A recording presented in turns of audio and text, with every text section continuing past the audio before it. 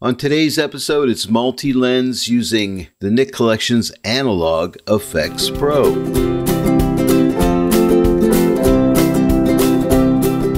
Hello, everyone. Welcome to the Joy of Editing with Dave Kelly. Today, we're working with Analog Efex Pro. Now, I wanted to show you a really cool filter inside of Analog Efex Pro, and that is the multi lens. It's really cool. You can get some really great creative results with it. I'm working from Photoshop today, uh, and when you're using any of the Nik software, you don't have to duplicate the background layer so you can work non-destructively. Nik does that for you, and also when you're working with uh, uh, Nik products, they work as smart filters, so if you like to work non-destructively, you can do that. I generally don't, but for those of you who like to do that, you can use them as smart filters. So all I need to do next is uh, click on the uh, Analog Efex uh, Pro icon. It'll launch Analog Efex Pro and we will get started. We're now in Analog Efex Pro and it's defaulted with the classic Camera One preset. And so here's my image here. Now, if you don't like this one, you can go ahead and click on any of these other presets, or you can start from scratch if you want to. I'm going to click this little arrow right here. And when I do, this interface opens up and you can see that we have all these different tool combinations here. And here's my multi-lens that I want to use. And then we have tools over here. So I'm going to show you a few different scenarios that we can work with. And one is uh, we can work with any one of these particular tool combinations that we want to. Now you notice classic camera all these filters over here are involved with that particular preset that we're using Classic One right now. But we want to work with multi-lens, okay? So I'm going to click on multi-lens. And when I do, we'll see a bunch of new presets over here. Now, these presets are uh, showing us that multi-lens view or look and but it's also altering the colors and things of the image so it's processing the image in certain ways as well. For instance if i click on this one right here give it a second to render out here you're going to see this type of multi-lens uh, look but it's altering the look of my image itself okay? Or if I click on this one, you'll see it's altering the look. If I don't want to alter the look of the image and I just want to work with the image that I brought into Analog Efex, here's what I do come back to the arrow here, click this, and all we need to do instead of clicking the tool combination, just click on multi-lens under tools here. And when I do, watch what happens. We'll see the original image here and all those other filters go away. So we can just work with the multi-lens itself if we didn't want to alter the image, okay? So that's the way that works. And now you'll notice this interface is here and it has all the different uh, things that we can do with it. And I'll show you how this works. Now under multi-lens, we have these different type of multi-lens looks here. Okay, so here's our first one. Here's our second one, our third one. So you just got to pick the one that you want to use. All right. And I think I like the first one. So I'm going to choose the first one. The second thing you need to do is decide you want to have a border color and what color you want it to be. Now you have your choice between white. Now it's already on white here, or you could choose black, or you could choose no border at all. So you determine what you like. And I think I like black. So I'm going to go ahead and choose black. And now we have this slider here. We can make it narrow or wider, the border. So if I move it to the right, I'll make my border wider. And if I move it to the left, I'll make it more narrow. So you choose where you want it to be. And I think maybe right around here looks pretty good. And next we have vignette. Now it defaults at 35%, which is basically, I think, no vignette. So if we move it to the right, will darken the top and the bottom of the image. It doesn't seem to affect the sides, but just the top and the bottom. If I move it to the left, it'll lighten the top and the bottom. So let me just maybe darken it up just a little bit. Maybe something like that looks pretty good. Now the next two sliders are interesting and they kind of work together.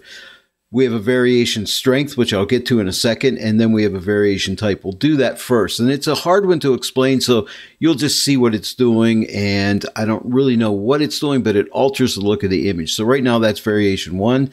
Let's click on uh, variation two. See the change there? Here's one. Here's two. It got a little more contrast. Here's variation three. Okay. And here is variation four and variation 5. So which one do we like?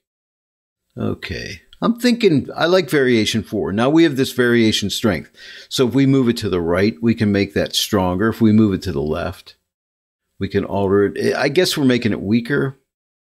Not 100% sure what that's doing, but I'm just moving it and seeing what kind of result we get. And I think right around there looks pretty good, and I'm happy with that. Now we can always come here, see where it says multi-lens, and you can click this off, and you can see your original image, and now you can see what it looks like with the multi-lens view, or you can click this compare up here and see the before and after as well.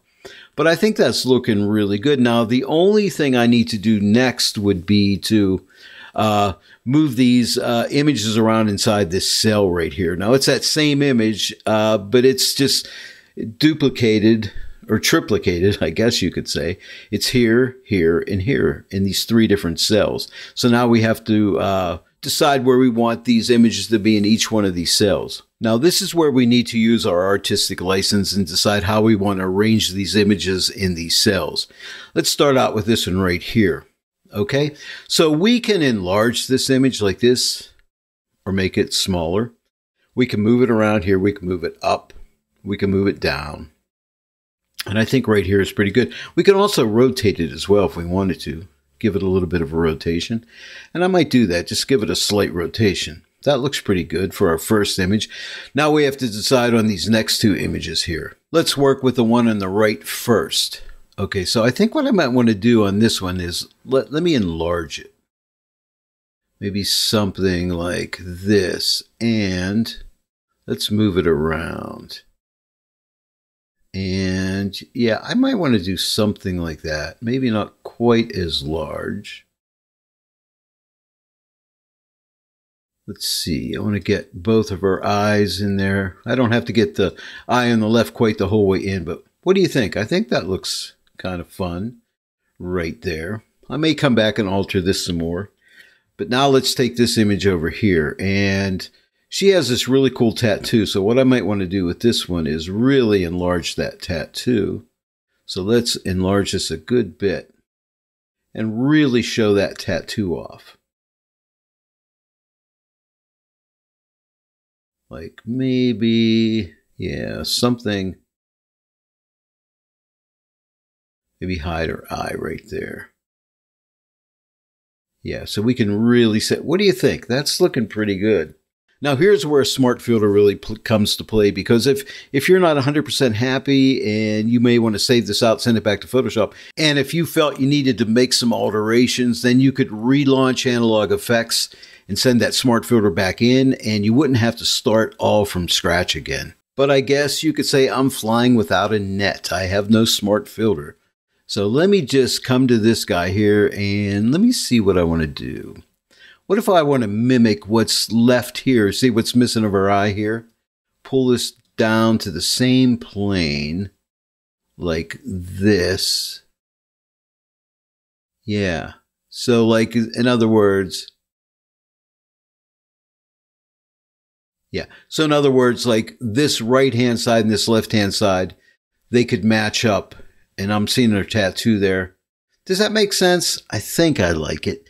Give me a second or two to ponder this. Okay, I pondered for a few seconds. I paused the video. So I think what I want to do is just see it, you know, hide that eye, I think, just maybe right like that. I think that looks looks better. It was looking kind of a little bit creepy to me with that eye sticking out there but I like it. I think I'm happy with it. Now, if we wanted to, we could come over here to the left and we could continue to add, you know, dust and scratches, photo plates, motion blurs, you know, lens distortions, whatever we want. But I'm happy. I just wanted to work with the original image and show you what we could do with multi-lens. And I'm happy with it. So now all we need to do is come down here and click OK. That'll send us right back into Photoshop. And here we are in Photoshop. Now you'll notice it names our layer for us, multi-lens, AEP2, Analog Efex Pro 2. So that's kind of nice. We can click this eye. Here's our before and here's our after. So what do you think? I really like uh, multi-lens. You know, when I first saw multi-lens in Analog Efex, I thought, where would I ever use this at? But I find you could get some really cool images, especially like like when you're doing like fashion photography and things like that think magazine covers and ads and, and so on and so forth, you can get some really cool results. But that is multi lens. Well, there it is, ladies and gentlemen. That was Multi Lens in Analog Efex Pro. I really enjoyed it. Please let me know what you think. Leave comments and questions. If you enjoyed my tutorial today, please give it a like, share it with your friends. If you're not yet a subscriber to my channel, please subscribe, click that bell notification icon. Then every time I upload a new tutorial, you'll be notified about it. I want to thank each and every one of you for joining me today on The Joy of Editing with Dave Kelly, and I'll see you all right here next time. But until then, happy editing.